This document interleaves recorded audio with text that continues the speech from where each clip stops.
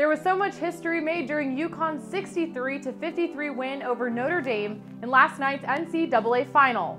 It's tough to figure out where to start, but 10 seems like a pretty fitting number. 10, the number of rings, one for every finger, for head coach Geno Auriemma, who now sits at the top of the NCAA championships list with legendary UCLA men's coach John Wooden. Auriemma has led his team to the national championship game 10 times and has yet to be beaten in the final game.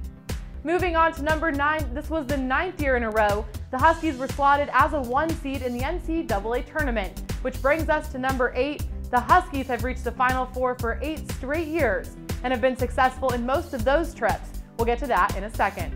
But first, it's number 7. UConn's on a 30 game winning streak for an amazing seventh time in school history. UConn's 46 game winning streak was snapped at Stanford back in November, but the Huskies haven't lost since. They'll ride a 35 game winning streak into the 2015 2016 season. And now, number six, UConn wouldn't be here without a talented cast of players. In fact, according to ESPN.com, the Huskies have signed the nation's top recruit in six of the last 10 seasons. Number five, UConn has won five of the last seven national championships.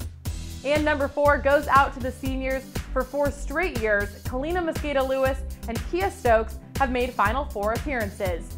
Mosqueda Lewis became the NCAA all-time three-point leader in her career at UConn. Stokes will also be remembered as one of the greatest defensive players for the Huskies. Moving on to number three, you can't forget Breanna Stewart. She said she wants to win four straight, but to do that, she had to win the third in Tampa. She earned Most Outstanding Player of the Final Four honors for the third time, making her the first woman ever to achieve that. Kareem Abdul-Jabbar was the only men's player to do it when he played for Wooden at UCLA. Number two, Stewart again for the second straight season, she was named the AP Player of the Year. It was also the second straight year UConn took down former conference rival Notre Dame in the national championship final.